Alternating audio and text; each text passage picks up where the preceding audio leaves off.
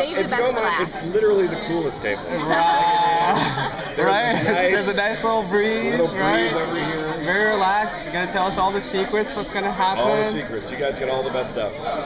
So, season finale was pretty intense. Um, what's gonna happen to Jane and Kurt?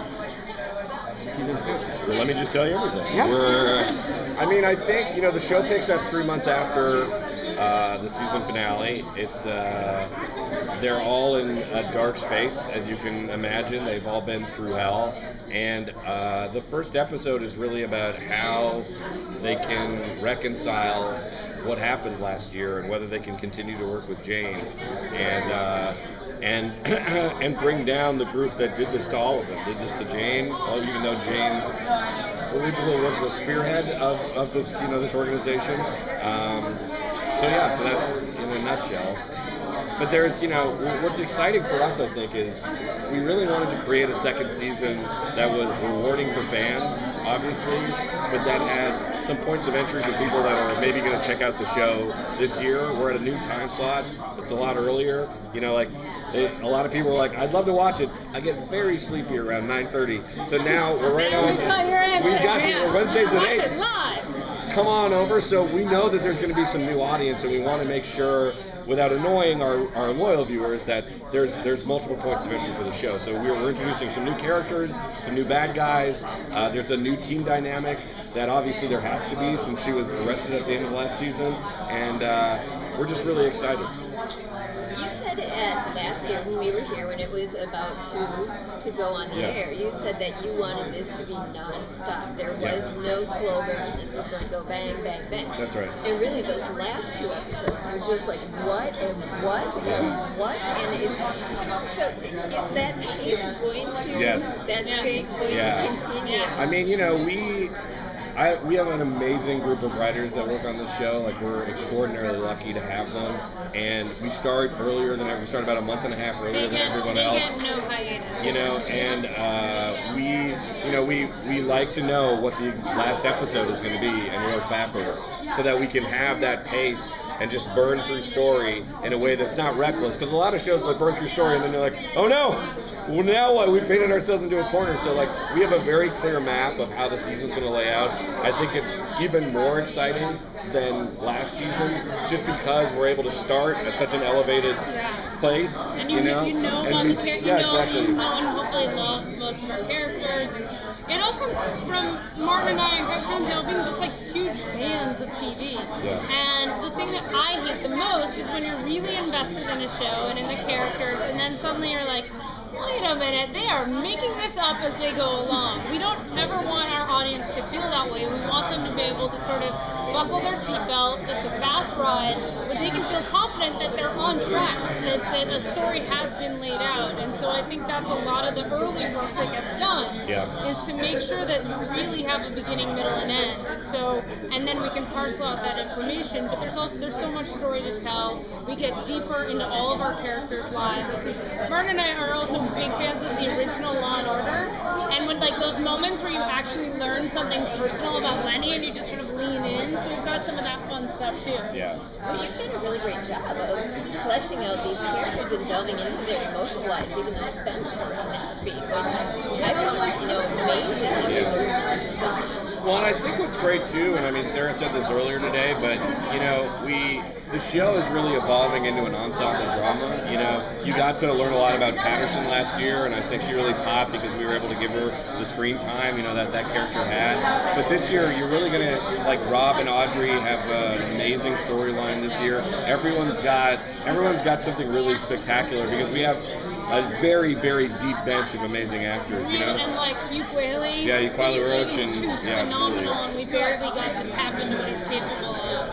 And so then- we're really lucky. That, and then the new actors As many of you know, you know Archie. Panjabi is joining the show from The Good Wife, and it's like, you know, we're such huge Good Wife fans. I'm so excited, just as fans that she's on the show.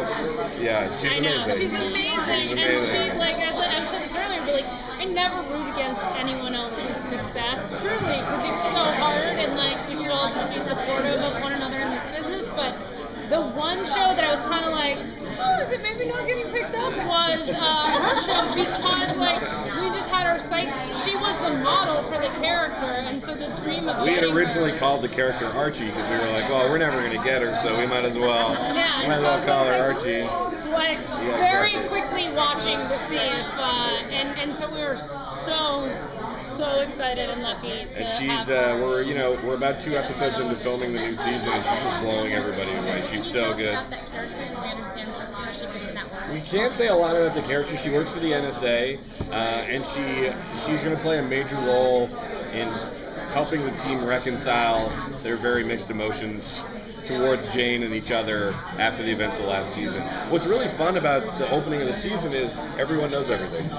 There's no secrets anymore. Everybody knows who Jane was, who Jane wasn't. And uh, everybody knows what was happening last year.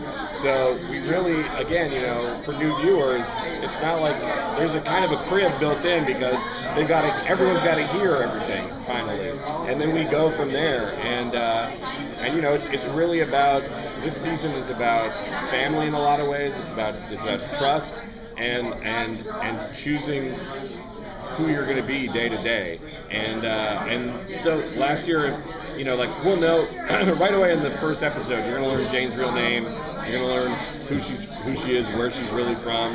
You know, all of that stuff you get right away, and then we grow from there. And then speaking, we, we haven't explained what the role they'll be playing. Oh, the oh, No, tattoos. very important. Yeah. We're actually to be using her tattoos. the tattoos, I mean, what we I think we struck a good balance last year. You know, the show is half procedural, half character drama, and so the, the tattoos still play an important role in the show and in the engine of how the show works.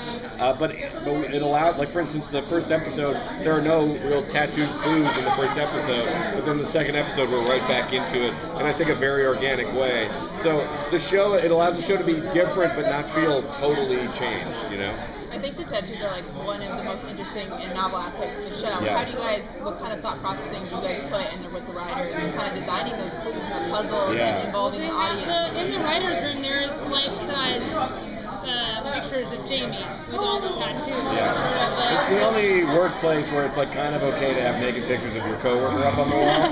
Uh, but it's like it's actually kind of it's kind of necessary. I like to build a, a warm, safe place.